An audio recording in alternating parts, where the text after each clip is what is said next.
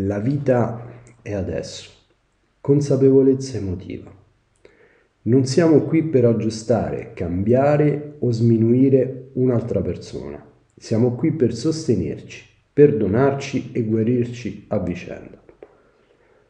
Sii consapevole quando ti stai concentrando negativamente su ciò che sta accadendo intorno a te, con altre persone o situazioni, perché questo abbassa la tua vibrazione. Rendendotene conto, individui le aree della tua vita che lo fanno e diventando consapevole la tua vita è un po' più facile, c'è più gioia, più amore, più risate. Sei nella quiete del tuo cuore e sappi che sei un essere multidimensionale che vive un'esperienza umana. Il tuo cuore è il tuo strumento sacro, la via di casa. Lascia che il mondo faccia quello che fa. Non giudicarlo, non condannarlo, non odiarlo e non amarlo. Osservalo e lascialo stare.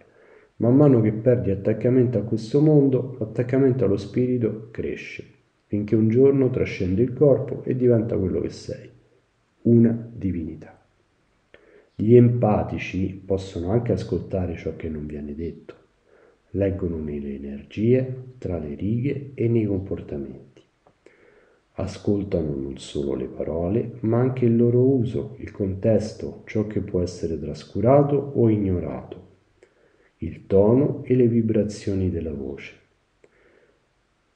Hanno un senso delle possibili cause e delle intenzioni consce e inconsce dietro a ciò che viene detto. Mantengono il contatto visivo, decifrano le espressioni facciali, e i gesti e sentono parlare il silenzio. Sentono i messaggi senza parole perché l'energia non è mai silenziosa. Percepiscono anche le energie collettive. Le persone sensibili e empatiche dovrebbero essere consapevoli della loro energia. Se non lo sono, le loro esperienze sono rapidamente caratterizzate da rabbia, sovraccarico sensoriale, ansia fisica ed emotiva, esaurimento. Se sei un empatico, prenditi cura di te stesso e del tuo cuore consapevole e sensibile. Questo mondo ha bisogno di te. Amare senza condizioni implica un passaggio difficile. Si richiede infatti una scelta difficile, che è quella del perdono verso gli altri e verso se stessi. La vita è adesso, cuore e magia. Ricorda sempre che sei più coraggioso di quanto credi, più forte di quanto sembri, più intelligente di quanto pensi e due volte più bello di quanto avresti mai immaginato. Ogni volta che condividi la bontà del tuo cuore, finisci sempre per vincere perché la vita è un eco, ti restituisce ciò che hai dato. Ricorda la magia che sei tu, sei la versione migliore di te stesso. Sì, tutto sei tu che ti connetti con tutto.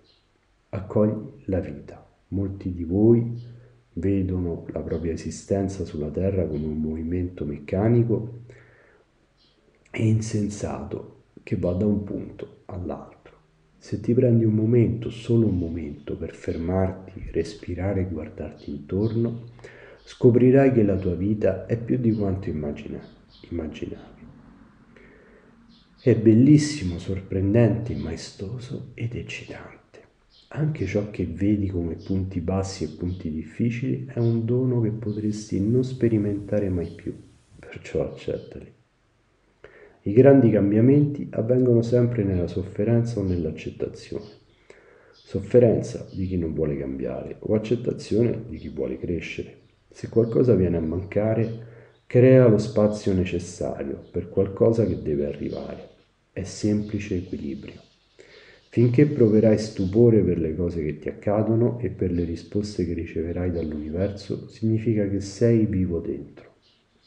Finché ti meraviglierai dei particolari di questo mondo, senza farti sovrastare dai grandi avvenimenti sociali, significa che sei ancora sveglio dentro Finché il tuo cuore batterà forte per ogni sguardo che ti concede bellezza, aprendo facendo resistenza vuol dire che sei ancora un tutt'uno con tua anima.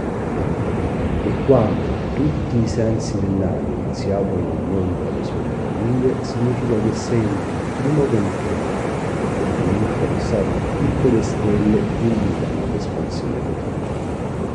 Cosa significa essere reale? Significa assumersi una responsabilità nelle proprie azioni.